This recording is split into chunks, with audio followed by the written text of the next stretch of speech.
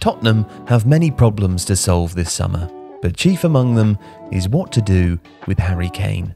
The club's record goalscorer has just 12 months left on his contract and is not close to signing an extension. So, should Spurs cash in on Kane now or risk losing him for free in a year's time?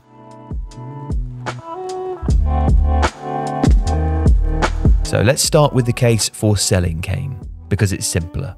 Obviously, for Tottenham to lose a player of his calibre for free would be a bitter blow.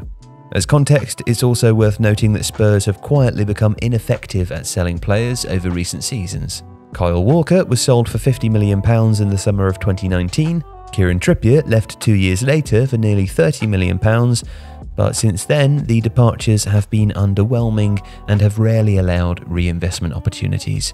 In fact, since the 2019 Champions League final, Tottenham have only sold 150 million euros worth of players, signing an estimated 570 million euros worth of new players across the same period.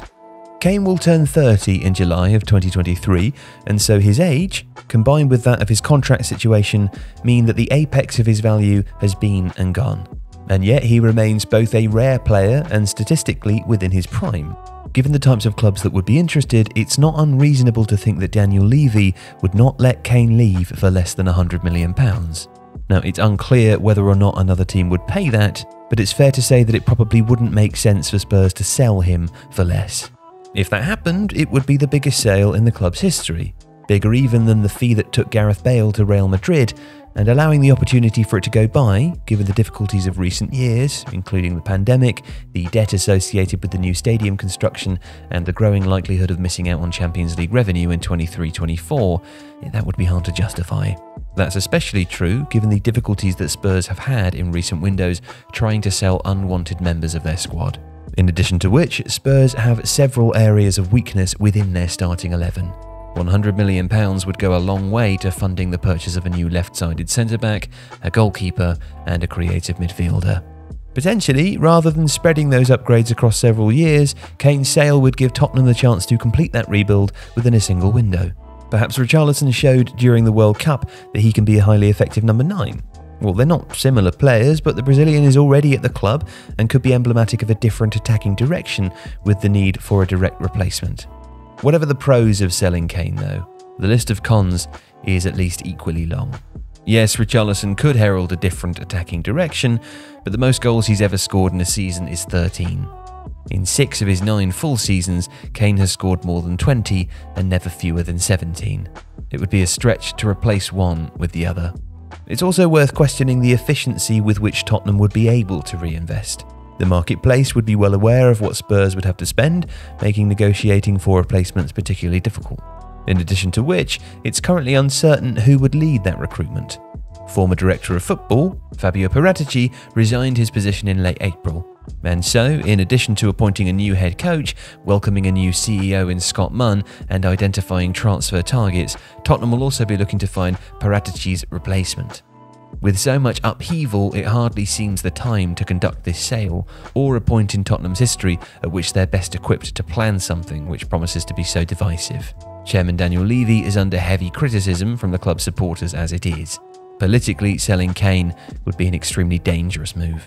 Levy, or whomever would be tasked with filling the hole that Kane would leave, would also find themselves in a weak position in the market to replace him.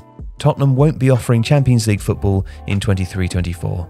Players like Victor Osimhen, Romelu Lukaku, and Lautaro Martinez would have better options in the summer. Tammy Abraham is a former Chelsea player who would also command a vast fee. More modest and achievable options might include Sevilla's Youssef En-Nesyri or RB Leipzig's Andre Silva, but neither is a perfect fit for the current attacking system. Marcus Thuram's contract is due to expire at the end of the season, and he's certainly talented, but he's really more of a wide forward. Being the player to replace Kane in the Tottenham team is a near impossible task, more so for a player who comes from a slightly lower level of the game and with a narrower ability range. That same problem would apply should Spurs opt for a younger player, a project, so to speak, who would have to cope with the inhibiting pressure of replacing an icon. In addition to which, the market in the summer of 2023 seems to offer few obvious options. Lille's Jonathan David seems likely to move to a super club in the summer, and for a very large fee. Benjamin Sesko has already agreed a transfer to Leipzig, And while it's largely expected that Randal Kolo Muani will leave Eintracht Frankfurt for the upcoming window, that's not likely to be for less than 100 million euros and for wages that Spurs will find it hard to match. Exciting high potential types available for small fees are currently scarce, particularly for wealthy Premier League clubs. Perhaps then the question isn't really whether Tottenham should sell Kane, but whether the advantages of doing so are only theoretical. For instance, the compensation for letting him leave may well be a big fee, but that's only a supporting argument if the club is well equipped to spend that money effectively. Using a big sale to rebuild a team is a common rationale, but it requires a high performing recruitment department that Spurs don't seem to have currently. It's a question without a correct answer, but it could be argued that Tottenham's best bet is to allow Harry Kane's contract to run down in the hope that his goals and quality allow them to succession plan from a stronger base in a year's time, even if it is with the result of losing him for free. If you like this video, please consider subscribing to the channel. The Athletic is home to some of the world's best sports journalists, including journalists dedicated to each Premier League team, so every fan gets the coverage they deserve, not just the big clubs. And you can try it for free now for 30 days. See the link in the description.